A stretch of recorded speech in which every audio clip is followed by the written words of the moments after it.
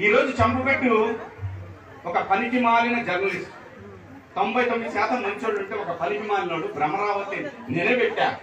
కుక్క చావు చేస్తావు గుర్తుపెట్టుకో ఈ మాట. కుక్క చావు చేస్తావు నువ్వు. నీలాంటి వాడు నీ బతుకు పది మందికి జర్నలిస్టులకు ఆదర్శం కాబోతా ఉంది. ఏమని? ఈ పనికి మాలినోడిలాగా మనం ఎప్పుడు మాట్లాడకూడదు. నువ్వు బ్రతకాలనుకుంటే నువ్వు ఇంత ముందు పనిచేసిన చోటకి వెళ్ళు. నీకు తెలిసిన వాళ్ళ దగ్గర అంతో ఎంతో అడుక్కో. లేదా యూట్యూబ్లో అడుక్కో. ఇంకొకడు ఉన్నాడు. వాడు బతికిన బతుకు అంటే తెన్నింటి వాసాలు లెక్క పెట్టే రకం ఇంకొక యూట్యూబర్ వాడు. జర్నలిస్ట్ పెళ్ళేసుకొని అరే చెప్తున్నా నీకు. నేను ఇంత పరుషంగా ఎప్పుడు మాట్లాడలా? నీ సంగతి తెలుస్తా. నీ ఆస్తులు నీ అక్రమాస్తులు ఎలా వచ్చినా నీ చిట్టా మొత్తం తయారు చేస్తా ఒక రోజు నేను కంప్లైంట్ ఇస్తా నీ బతికేంట రోడ్డు నేను గెలుస్తా ప్రతి రోజు అమరావతి మహిళలు తమ్ముళ్ళు ఎలా బతకాలో చెప్తానంటాడు. లేదంటే రెడ్లు ఎలా బతకాలో చెప్తాను. అదే జర్నలిజం. ఇదే నువ్వు నేర్చుకుంది ఈ రోజు చంపబెట్టు ఒక పనికి మాలిన జర్నలిస్ట్.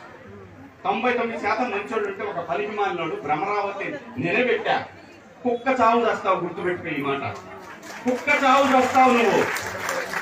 నీలాంటి వాడు నీ బతుకు పది మందికి జర్నలిస్టులకు ఆదర్శం కాబోతావు ఏమని? ఈ పనికి మనం ఎప్పుడు మాట్లాడకూడదు.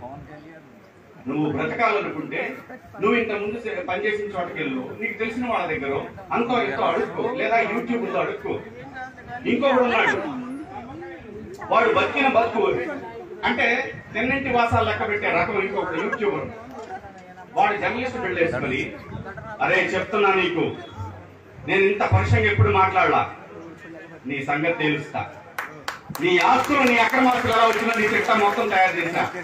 ఒక రోజు నేను కంప్లైంట్ ఇస్తా నీ బతికేంట రోడ్డు మీద గీడుస్తా.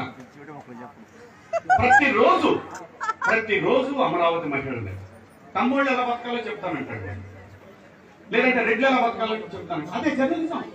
ఇదే నువ్వు నేర్చుకుంది.